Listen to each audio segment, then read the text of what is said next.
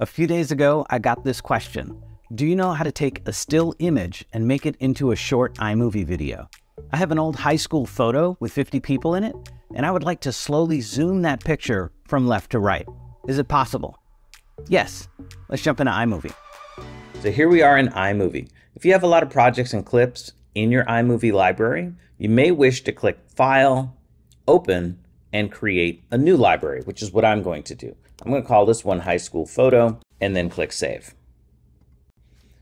So iMovie's created a new library for me with a new event under today's date. And then I'll click down here and drag my high school photo and drop it into the import media area. So that is part of my project now.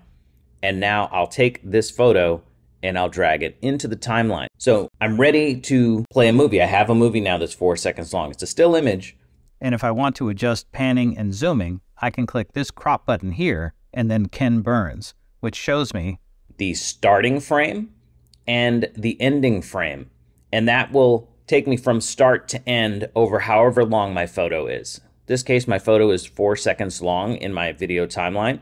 And if I play it, you'll see that it slowly moves from the start position to the end position. If I do want to zoom in, I change the size of the frame. So this first frame is a smaller, so it's zoomed in on those folks. And the second frame is larger, so it slowly goes from a zoomed in position to a zoomed out position. In this case, what I'm interested in is clicking on crop. I want to start here, kind of zoomed in on the top row of people in my photo. So I'm going to start there. And then I want the end frame, which I'm going to click on here. I want that to be roughly the same size. And I want it to go here to the right. So let's see if we can make these two line up. Boom. So I'm starting at the left, kind of zoomed in, and I'm slowly moving to the right. Also still zoomed in at the same size. So instead of it looking like it's zooming in and out, it's going to pan, slide from left to right across the image. So if I do that, you can see that I'm now panning. So this is great. What I'd like to do next is I'd like to go from the top right and come downward so that I can see some of the folks in there. I'm going to copy this clip, click at the end, and then paste. And now when I click back on crop, you'll see that the first clip and the second clip are the same. Now that I'm focused here on the right, I'm going to click reverse so that this becomes the starting frame. And then I'm going to drag this item here, the second frame, the ending frame, to be a little bit lower so that I can see the people in the bottom row. And uh, let's see, I'm going to bring it down just a little bit. That looks good. And so now what I'm going to do is one more clip. I'm going to copy this I'm going to click here and I will paste one last time. So now this is the third clip. Let's zoom out so you can see my timeline a little better. There you go. So you can see that there are three clips on my timeline. This third clip, I want to start at the bottom right and I want to pan back to the left. So I'm going to click to reverse direction again, which makes this bottom right my starting frame. I'm going to click here and I'm going to bring my ending frame back to the far left. And that looks pretty good to me. So I've panned to the left.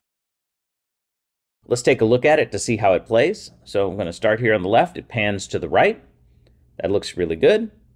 And then it slowly pans down. And then it pans to the left. That looks really good, except that panning downward is a little bit slow. So what I'm going to do here is select the second clip and then just drag it to be a little bit shorter, maybe just two seconds, or maybe even just one second and 15, 16 frames. There we go. All right, let's start again. And now we're panning to the right. That's good. The panning down looks pretty good. And then we're panning to the left. So that's it. If I wanted to zoom out at the very end, I could select this clip, this last clip, copy it, and then paste it. And then for here, I'll click back on my crop and zoom.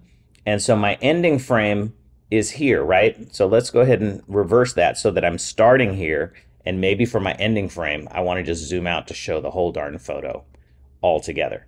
So let's include the entire frame at the end. And now what you'll see if I start here in the middle is I pan to the left and then I zoom out to show the whole photo at one time. And so that's how it works. If you found this useful, please click like. Keep the questions coming. Thank you for watching and I'll see you in the next one.